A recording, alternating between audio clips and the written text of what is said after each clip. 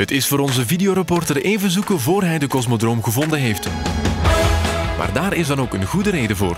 Het is Nacht van de Duisternis. Het idee is eigenlijk om de mensen aan te tonen op sterrenkundig vlak dat je met een pak minder licht veel meer sterren kunt zien en eigenlijk de ware pracht van je sterrenhemel kunt tonen. Aan de andere kant, verbond Beter Leefmilieu, heb je eigenlijk de natuur, eh, de na nachtritme van de dieren wordt er ook door verstoord. Ziet je de maan? En wat ziet je van de maan? paarden. Jonge astronomen profiteren van de duisternis om de ruimte te observeren. En ze hebben blijkbaar goed opgelet. Vroeger dacht ik dat de zon gewoon een lampje was aan de hemel dat af en toe aan en uit ging. Weet jij hoeveel planeten er zijn? Ehm, acht. Maar eigenlijk acht was. Maar eigenlijk, eerlijk gezegd, zijn er er veel meer.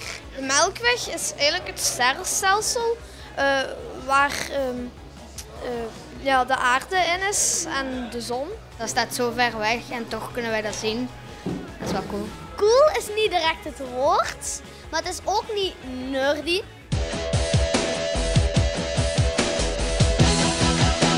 Vanaf oktober tot april kunnen mensen vrijdagavond naar sterrenhemel komen kijken door onze telescoop. Wat ze vooral te zien de komende maanden, Jupiter gaat heel mooi te zien zijn. De maan af en toe, nagelang de stand van de maan. Eh, en natuurlijk ook de sterren en deep sky, nevels, galaxieën kunnen we eigenlijk allemaal zien. En zondag is het open voor het grote publiek, door de dag van 2 tot 5, dat de mensen naar de zon kunnen komen kijken. De andere tak eigenlijk van de sterrenkunde. Je hebt enerzijds sterrenkunde s'nachts, anderzijds sterrenkunde overdag.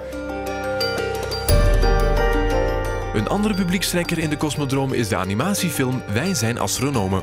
Ik vond het gewoon prachtig, eh, wat ik gezien heb. Ja, het is de eerste keer dat ik zoiets zie. Ja.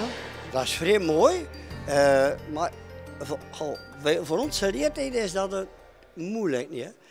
De stier, de tweeling, ja, ik zou dat nu niet, met dat te zien, kan ik dat nog, maar mijn varkens dat ik eigenlijk zou dat verzekerd nog niet kunnen. Ik zou dat, ja, ik moet uitgelegd worden. Versta je dat? Dank jullie vast voor de komst aan de Cosmodroom en op jullie bij een van onze volgende activiteiten terug te zien. Ze zeggen tot dan.